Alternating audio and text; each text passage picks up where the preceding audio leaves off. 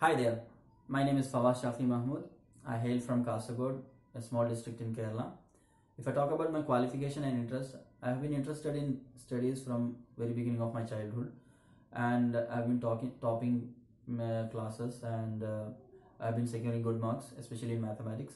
Uh, during 12th uh, board exam also, I secure I was the school topper in mathematics, and uh, B- during BTech also engineering mathematics subjects I had been uh, securing good marks, especially in engineering mathematics one, in which I secured 99% of the marks and was the department topper. After engineering, I uh, took up uh, coaching classes and uh, secured an All India rank of 280 uh, in GATE uh, mechanical, and that was just with the two and a half to three months of preparation.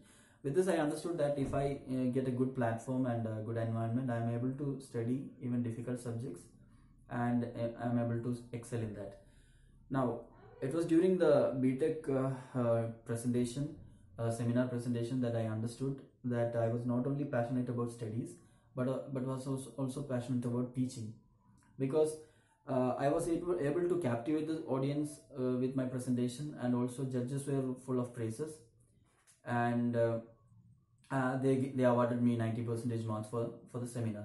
MTech seminar was also was also similar, and during MTech I was uh, given the responsibility of teaching assistant. Then and there I had decided that I wanted to become a teaching faculty, and I have been teaching uh, at uh, PA College of Engineering for the past three and a half years. Also, I have been teaching uh, 11th uh, and 12th standard students physics um, during weekends and uh, for, for the past uh, six or so months. Now, with this teaching experience, I have understood a lot of things about teaching. Uh, due to lack of time, I will not be going into detail about those things. Now, I'll start off with the subject. Uh, the subject uh, I'm going to handle today is, I'll talk to the students. Hi, students. The subjects subject I'm about to handle today is physics, and you know that physics has been divided into many branches. Out of them, one branch is mechanics. Now, the topic I will be handling today is kinematics. Now, so mechanics is divided into kinematics. Then you have statics, and you have kinetics. Now, the time is very short. I will be, you know, concentrating on kinematics. What is kinematics? Kinematics is the study of motion without considering the forces which are responsible for that motion or which are responsible for the alteration of motion.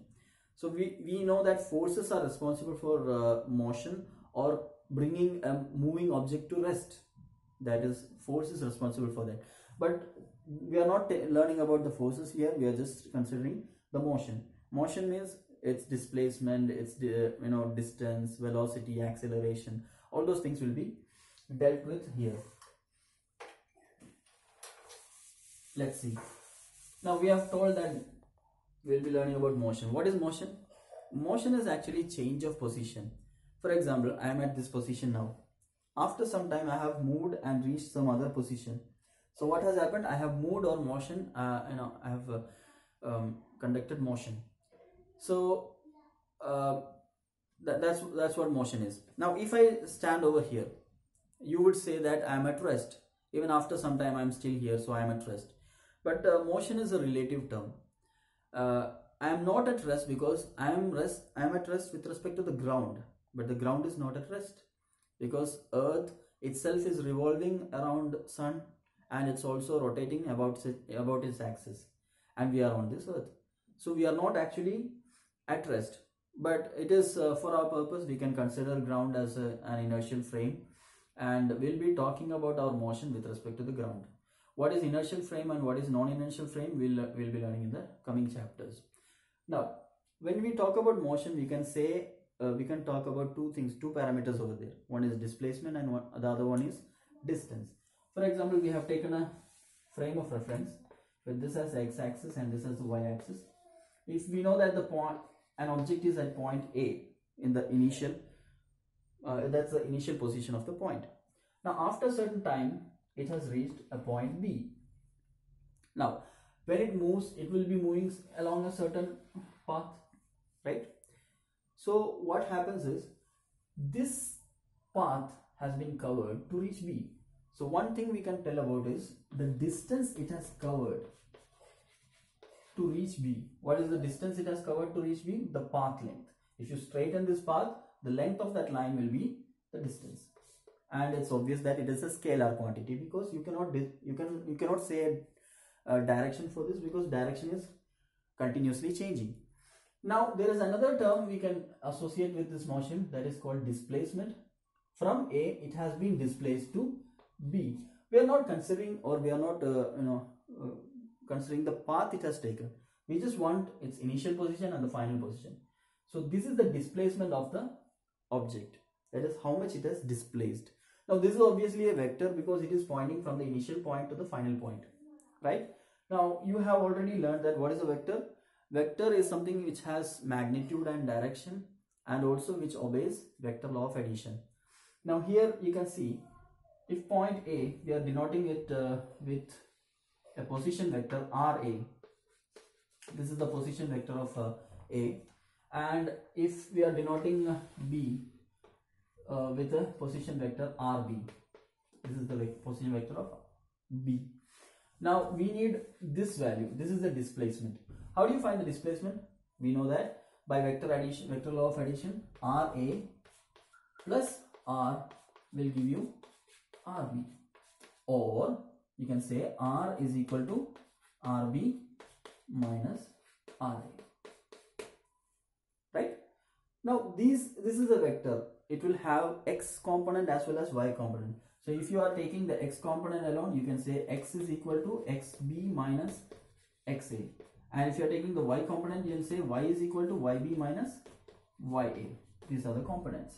So this is how you find the displacement of a body. Shall I erase this? Okay.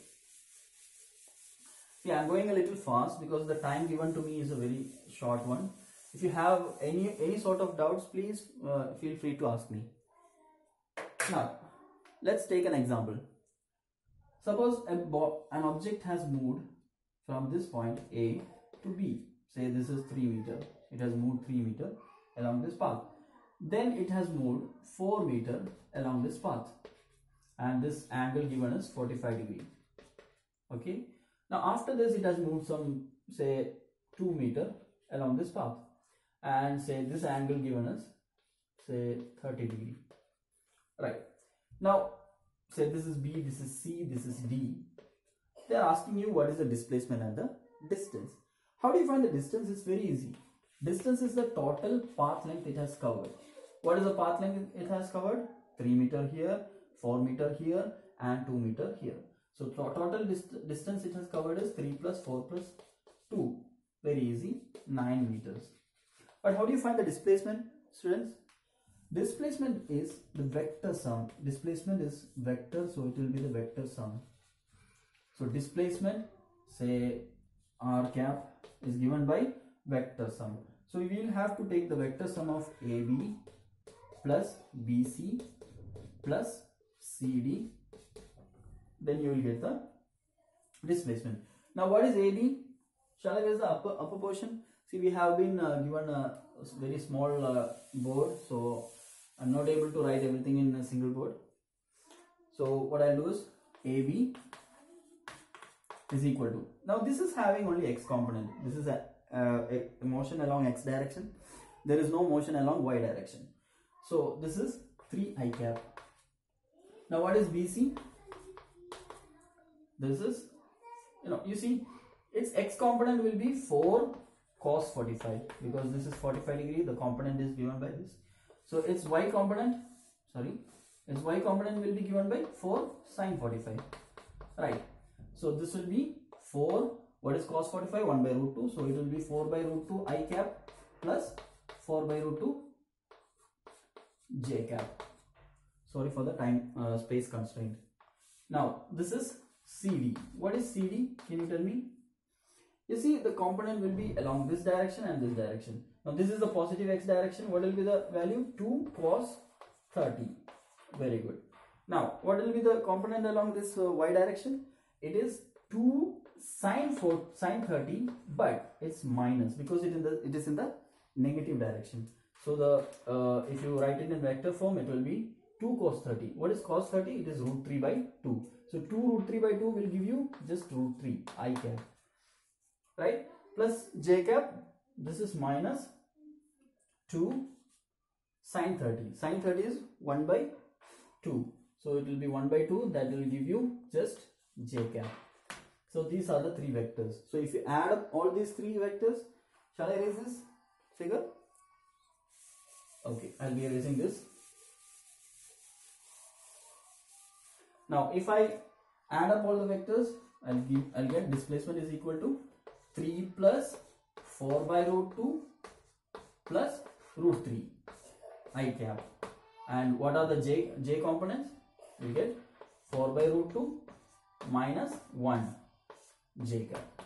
This is the vector form. If you want to find the magnitude of that, you should uh, take the square root of x component, say sx square plus sy square.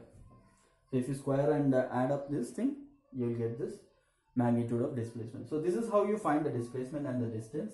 And the direction also you can easily find because uh, you know that uh, tan theta, the angle will be y component divided by x component.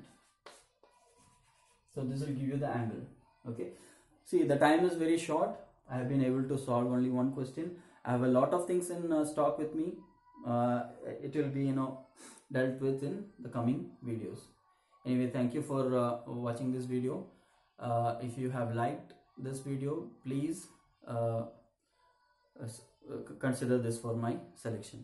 Thank you.